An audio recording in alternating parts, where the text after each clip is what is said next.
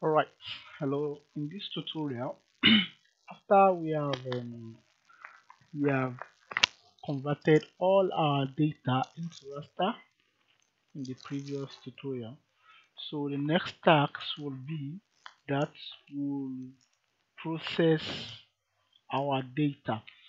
We'll convert them from raster to numeric.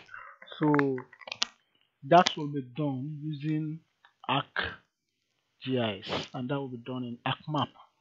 So after that, we'll then export this data or we import this data into SPSS and in SPSS that's when we merge all of the data, all of the different um, factors, we'll merge everything. So here now, I'm going to use geology and um, slope for example.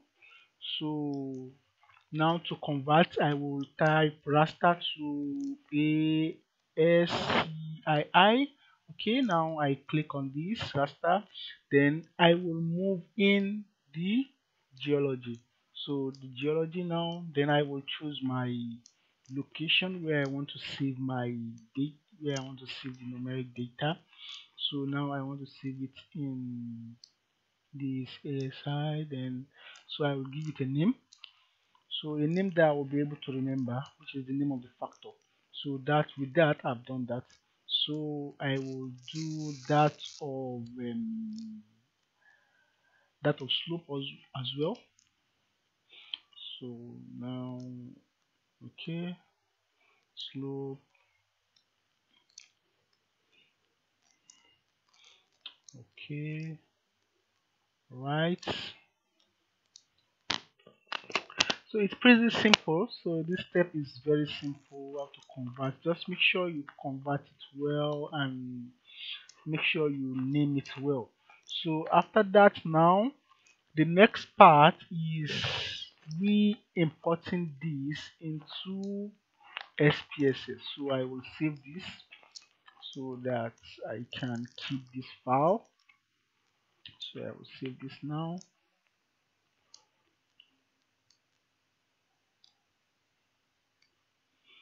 okay then I can cancel that. Now let me open my SPSS so what we'll do now we open this geology. There are always some background information at the beginning. So when we open it then we'll remove those background informations. Okay let our SPSS load. Once it's loaded then we can open the geology. So that's how we open all other file all other all other factors as well. So we remove the background and um, the the headers. We call it the headers. So we remove the the headers. So now just waiting for my SPSS to load. Okay good. Now okay so you can see the headers then I will delete it. So when I delete then I save back. So I will delete all this I will delete them then I will save back. Okay so the same thing I've done here so I will do for the second factor as well. So this is how you will do for all of the factors. So that's what you do then so now I can now open this particular this particular uh, file in SPSS so I will open yeah. Open then close yeah. Yeah. Yeah one because we have just only one column. Yeah. So yeah one then I can give it name geology then okay then finish. So now I have my year then I will save. So let me save it geology. Okay so now let me open the second one which is the slope. Also the slope yeah. So the same step is what I will I will follow for this also. So follow the same step.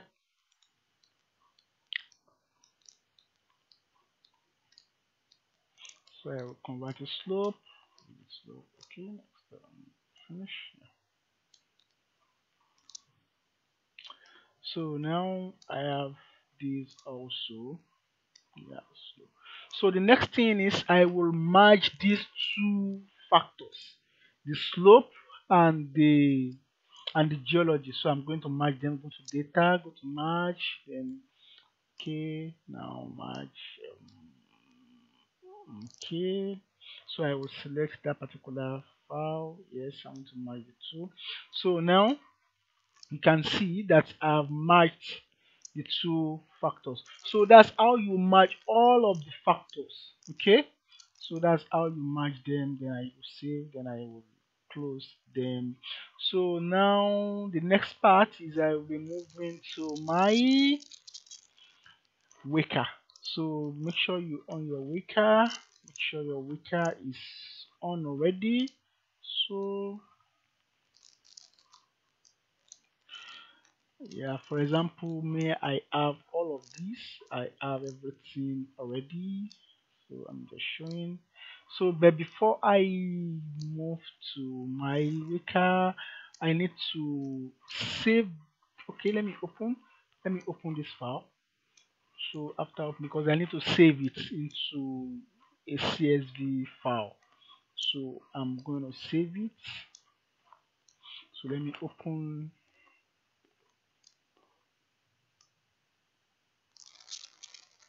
Okay so here are all of my own data. So there are some there are some columns that I, I do not need. So I'm going to remove them. So I will remove all this. Now remove them. Then so I can save. Then I will save as so that it will be useful for me in my so I will give it total okay still waiting. Trying to see as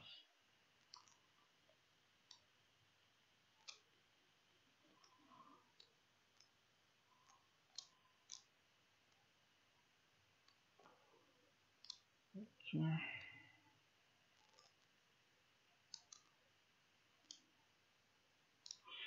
so now I have saved my data CSV then so this particular data is what I'll be using. So the file I've saved as CSV is what I'll be using in in Weka but before I do that also I will open this CS file in notepad.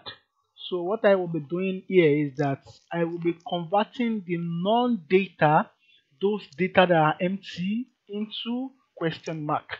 So Weka does not understand non in, in Weka non-data is seen as question mark. Why in ArcGIS or ArcMap non-data are seen as minus 9999 so I'm going to show you that now. Yes.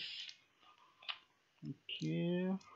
So ArcGIS yeah minus mean no data. Why in Weka no data means question mark. So I'm going to replace that. So that's what I did just now. So now after replacing that then I have saved it. So now I can now move to my Weka. So now yep. So I will attribute class first attribute. So I'm gonna look for my data. So here I will right click and say attribute class. Yes. Yeah. So the next thing is you can see there is something so I will rename it. So I will remove it then remove the question mark then you know so after that then I can now save it as a Weka file. So I'm going to save this now as a Weka file so that it will be useful for me. So I'll give it total. Okay. Now I'm going to open my explorer and yeah. Okay narrow down to where my data is. Then I will convert nominal to numeric. So what i'm doing here is the all those data that they are categorical but but they are not well aligned. So i'm going to convert them from numeric to to nominal. So i'll group them. So i will write the nine bar of each of these. So that's what i'm doing now. Okay so this will take some time.